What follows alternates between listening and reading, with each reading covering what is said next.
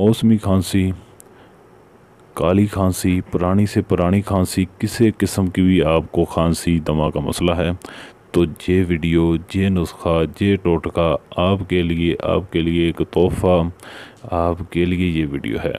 Welcome to Pak health care TV. दोस्तों, खुश आमदीद कहते हैं आपको अपने इस चैनल में।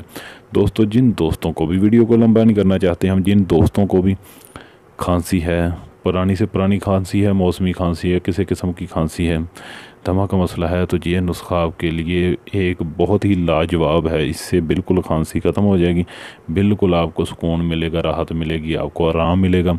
लाजमी ये नुस्खा टोटका बनाएँ, अपने हाथों से बनाएँ ये चीज़ें आप खुद, पनसार स्टोर से ख़रीद कर लाएँ और ख़ुद इसको बनाएँ, पीसें और इसको इस्तेमाल करें। इन इससे आपको बहुत ज़्यादा बहुत ही ज़्यादा फ़ायदा होने वाला है। लाजमी इस्तेमाल करें अगर आपको ख़ुद को मसला है या आपके किसी रिश्तेदार को, आपके अज़ीज़ को, आपके दोस्त को मसला है तो उसको इसके बारे में बताएँ तो इन किसी को भी ये मसला होगा तो आप बहुत ज़्यादा फ़ायदा होगा।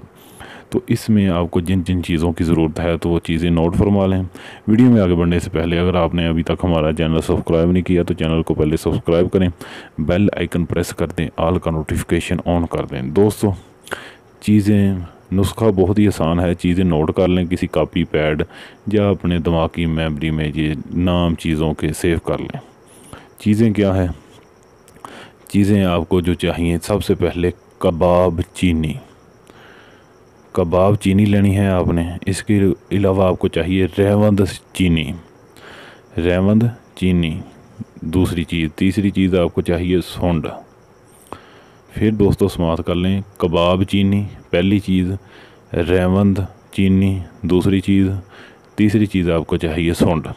ये तमाम चीज़ें आपने, तीनों चीज़ें हम वज़न ले लेनी है। तकरीबन आप तीनों चीज़ें दो दो तोला ले लें या तीन तीन तोला दिल ले लें।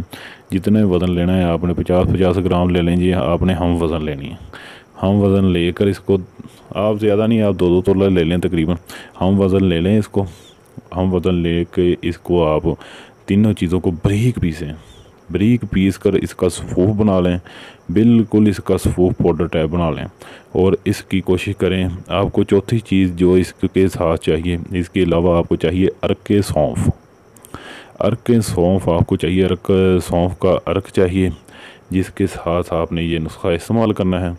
तो कोशिश करें ये जो सफूफ आपने बनाया है, इसकी गोलियाँ बना लें। गोलियाँ आप अर्क के साथ भी बना सकते हैं, अर्क इस्तेमाल करके या आप इसमें शहद इस्तेमाल करें तो उसकी मदद से आप इसकी गोलियाँ बना लें, तकरीबन आप गोली बना लें।